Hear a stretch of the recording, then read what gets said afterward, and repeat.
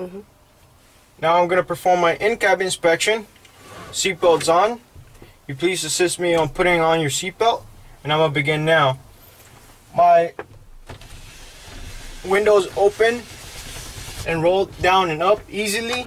Door opens and closes easily. My door latch is working properly. There's no no broken, missing any um, screws or parts.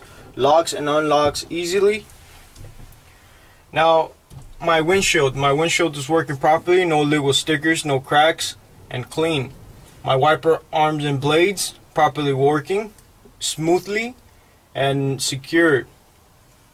My dashboard, no cracks, um, no tears, and not broken. One piece working properly. Now my sun visors go down and up, properly mounted, no loose or missing any screws, working properly. My fan, my my cold and hot, my defroster and AC working properly. Both of my valves working properly with no leaks and no missing any components. My left, my right signals working properly. My four-way flashers working properly. My light switch is working properly. My, my low beams are on. High beams are working properly. My steering wheel adjusts up and down properly. No bends, cracks, or illegal welds on the um, latch. My, my steering wheel does not exceed more than 2 inches or 10 degrees in a 20 um, inch wheel. It's working properly. Now I'm going to check my gauges. I'm going to turn my key to the on position. Wait for my gauges. System stabilizing. My system stabilized.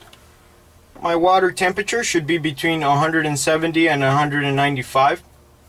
Oil PSI should be between 20 and 60 PSI. My RPMs gauge is working properly. MPH gauge is working properly. My fuel um, gauge is working properly. My volts gauge is working properly, should be between 12 and 14 volts.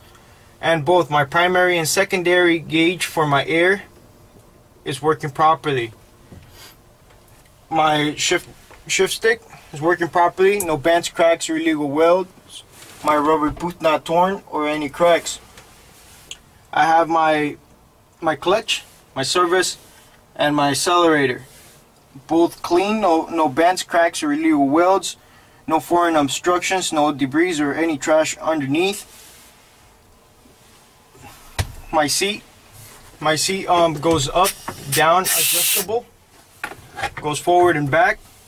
Um, under my seat I have a fire extinguisher, ready to use, pin still intact, properly mounted, no cracks or illegal welds on the mounting.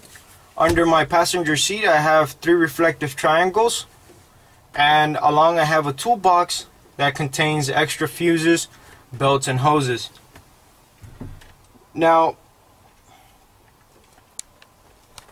this concludes my uh, pre-trip inspection. Now, before I uh, finish, my mirrors are adjusted to me. And with this, I conclude my pre-trip inspection for my CDL Class A license.